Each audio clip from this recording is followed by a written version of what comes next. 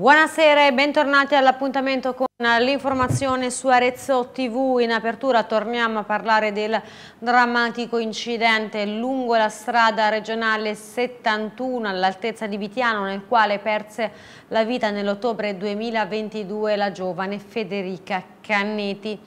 Oggi si è concluso il processo alla 23enne che si trovava alla guida dell'auto sulla quale viaggiava la ragazza che ha patteggiato a tre anni tanta la rabbia dei genitori della giovane fuori dall'aula. Una vergogna, mi sento male, perché questo doveva andare un minimo un mese in carcere per capire il danno che ha fatto e a monito anche dei, dei ragazzi che corrono. La rabbia e il dolore dei familiari di Federica Canneti, la giovane aretina morta in uno schianto fatale sulla strada regionale 71, il 23enne che si trovava alla guida dell'auto ha patteggiato, infatti, a tre anni. Tre anni di reclusione con patente revocata, quindi diciamo una pena minima sostanzialmente secondo me non equa rispetto alla gravità del fatto commesso, ricordiamo che erano contese due aggravanti, quali la velocità che portava il reato da 5 a 10 anni e aveva provocato oltre che il decesso anche lesioni personali. Era la notte del 7 ottobre, Federica era seduta sul sedile posteriore, l'auto viaggiava a più di 130 km orari in un tratto al limite 50, oltre il doppio del consentito come stabilito dal consulente incaricato dalla procura, poi il drammatico impatto con un'altra auto costato la vita alla ragazza. Al 23enne accusato di omicidio stradale sono state riconosciute le attenuanti generiche, per lui si apre adesso la strada dell'affidamento in prova ai servizi sociali. La condanna, ringrazio la giustizia italiana, l'abbiamo avuto noi, perché noi abbiamo la vita rovinata per il resto nostra, dei nostri giorni. È chiaro che nessuna pena poteva lenire il dolore dei miei assistiti, però una condanna a tre anni mi lascia un po' interdetto. Federica sognava di diventare ostetrica, un sogno spezzato, quella drammatica notte, ma che oggi potranno vivere altre giovani studentesse grazie a una borsa di studio intitolata Alla ragazza. Ancora cronaca, 30 opere d'arte che erano state trafugate nelle chiese della Toscana sono state riconsegnate questa mattina ai proprietari dai carabinieri. C'è anche un'opera che era stata rubata da Monte San Savino. Oltre 30 opere d'arte tra statue, candelabri, sculture in bronzo, formelle, dipinti e addirittura un affresco trafugati per lo più in chiese e luoghi di culto della Toscana sono state recuperate e restituite ai loro proprietari dai carabinieri del Comando Provinciale di Firenze e del Nucleo Tutela Patrimonio Culturale. I furti erano stati messi a segno a partire dall'aprile 2022 e avevano toccato anche la provincia di Arezzo. Dal santuario di Santa Maria delle Vertighe era stata trafugata una statua in gesso raffigurante una Madonna con bambino. Le indagini erano poi partite a seguito di un colpo nella chiesa di San Felice a Ema.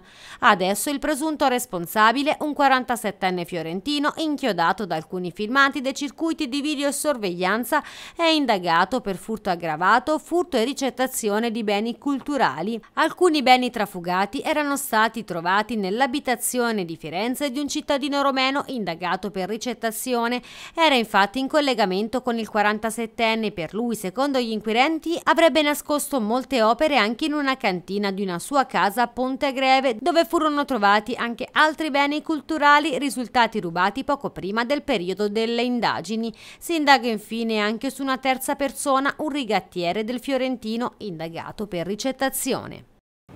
Nuovo colpo di scena nella notte nell'avvertenza FIMER, si profila infatti la cessione al fondo inglese Clementi, ma per chiudere l'operazione serve ovviamente l'approvazione del Tribunale di Milano.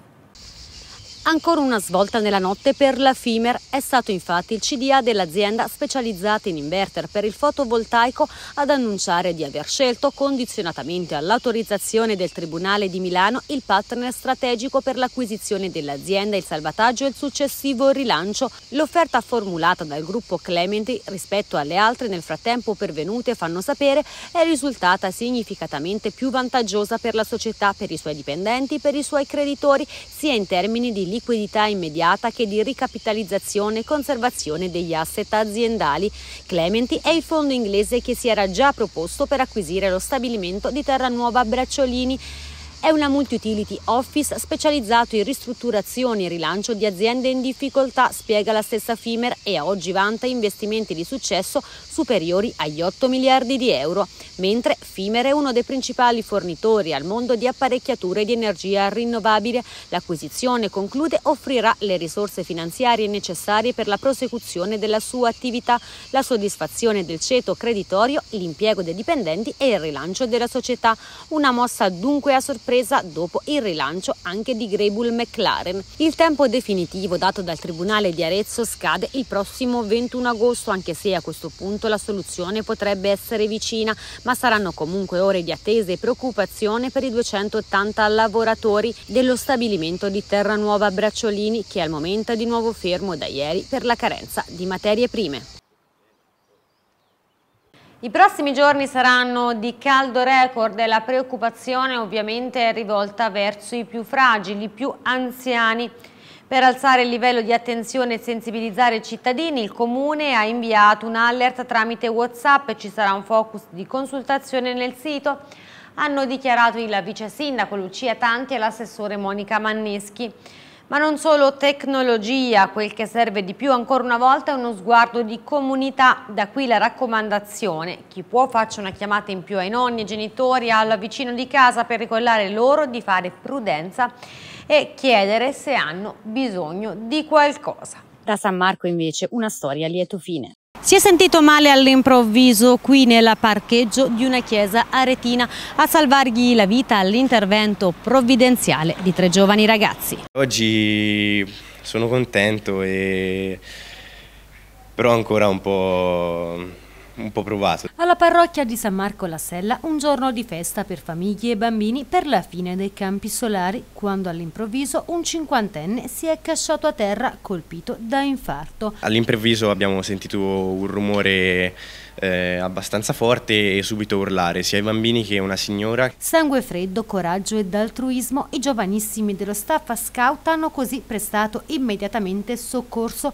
in particolare Alessandro, quasi 17 anni, che ha praticato prima il massaggio cardiaco e poi ha afferrato il defibrillatore. Tutto questo l'ho imparato a scuola, sono tre anni che tutti gli anni facciamo mm, eh, il BLS e mm, quindi il massaggio cardiaco e tutto quello che lo precede, dal chiamare l'ambulanza a quando lo portano via. In più quest'anno eh, abbiamo introdotto nelle lezioni anche il defibrillatore didattico. All'arrivo dell'ambulanza con i medici del 118 il cuore del cinquantenne aveva già dato i primi segni di ripresa. Hanno detto anche i cardiologi che di solito se ne salva uno su 100 e se si salva è grazie al defibrillatore e chi lo sa usare. Andrebbero tutti formati. L'uomo è ancora ricoverato in ospedale, adesso fortunatamente sta bene, gli sarà applicato un pacemaker e poi sarà dimesso. Mi ha ringraziato, ha detto che sono un eroe, ma sinceramente mi sento di aver fatto quello che andava fatto. Alla fine sono una persona come tutte le altre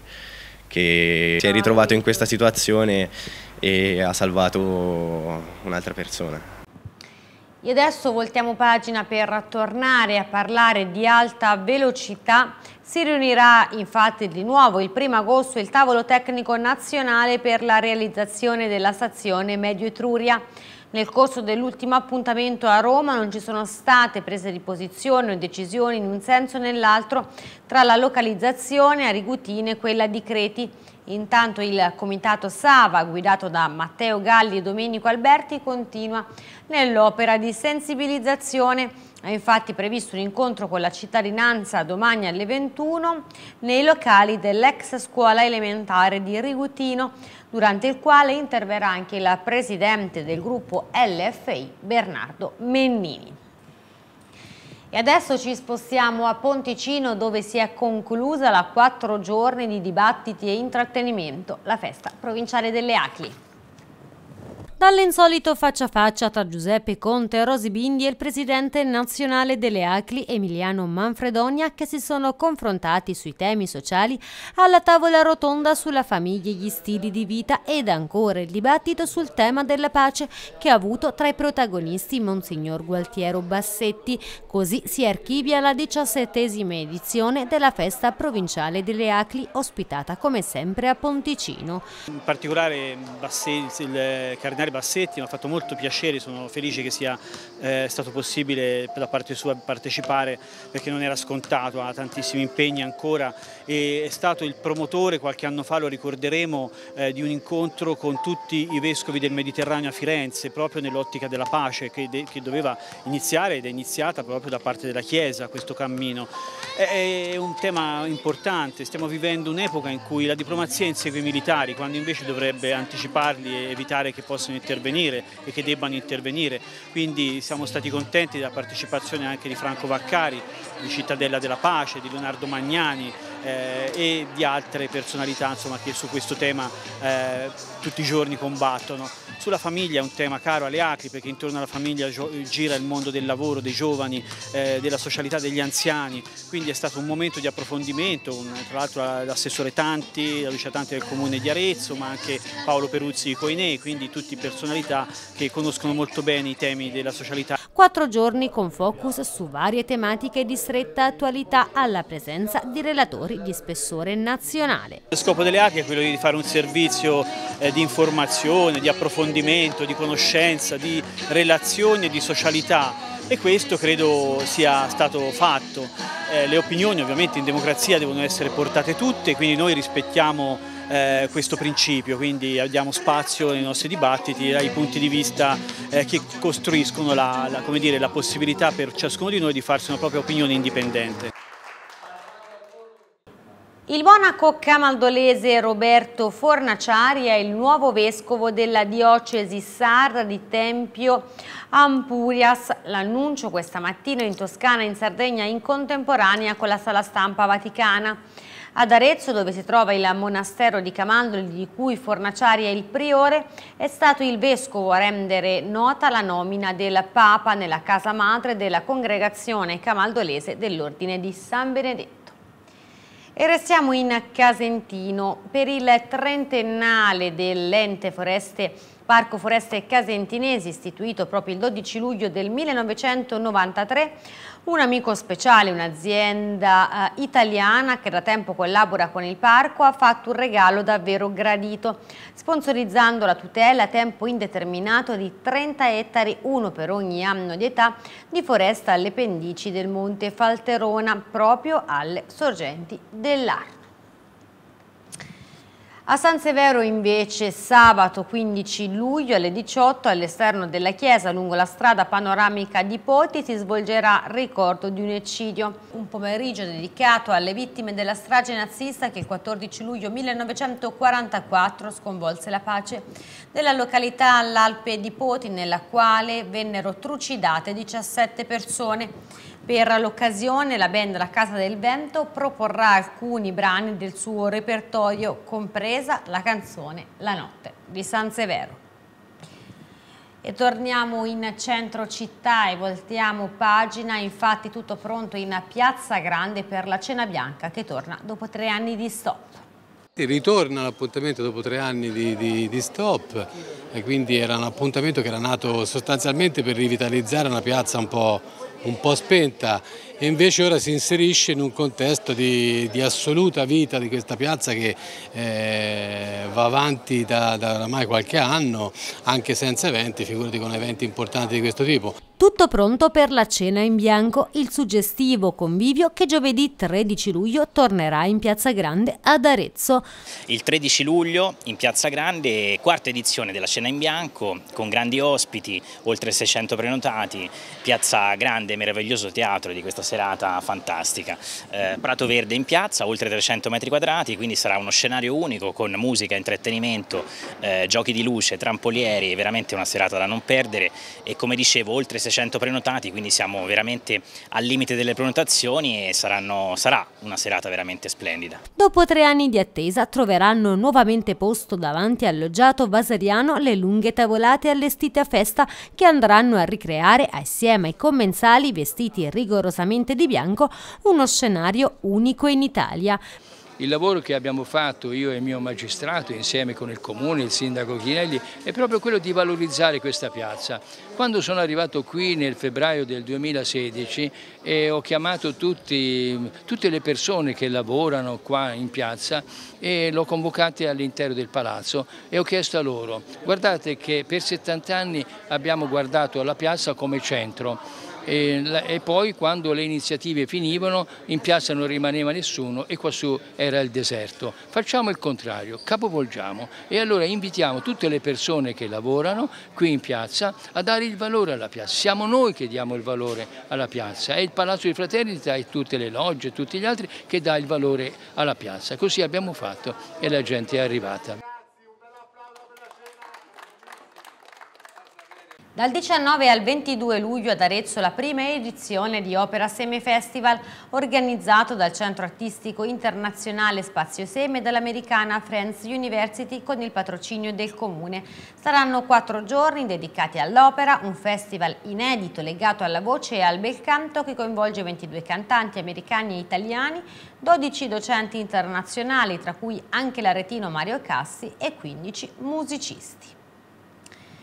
E adesso la pagina dello sport, si è chiusa la prima fase di campagna, abbonamenti con prezzi agevolati per quanto riguarda l'Arezzo Calcio, le tessere sottoscritte per il campionato di Lega Pro 2023-2024 che l'Arezzo affronterà da protagonista dopo due anni in Serie B sono 723. Lo scorso anno il numero complessivo fu 922. Dopo il periodo riservato alle prelazioni, dunque da oggi via libera agli abbonamenti, una fase che andrà avanti sino alla vigilia della prima gara di campionato, sia il 26 agosto. La società Amaranto poi proprio oggi ha annunciato di aver depositato il contratto di Filippo Guccione che eh, si lega al Cavallino così con un contratto biennale. Novità, anzi conferme per quanto riguarda il basket, Daniele Rossi la seconda conferma per l'Ame Scuola Basket Arezzo in vista del campionato di Serie B interregionale. Il giocatore di Figline Valdarno è arrivato all'Amen nella stagione 2020-2021 proveniente da Val di Sieve progressivamente andato in crescita in tutte le voci statistiche nei campionati disputati ad Arezzo.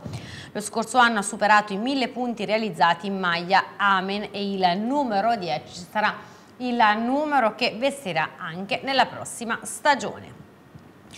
La Chimera Nuoto invece ai vertici dei campionati regionali estivi degli esordienti A. I 14 atleti qualificati per la fase finale nati tra il 2010 e il 2012 sono riusciti a conquistare 5 ori, 6 argenti e tanti positivi piazzamenti che hanno permesso alla società aretina di ottenere un prestigioso terzo posto della classifica generale tra 48 squadre da tutta la Toscana.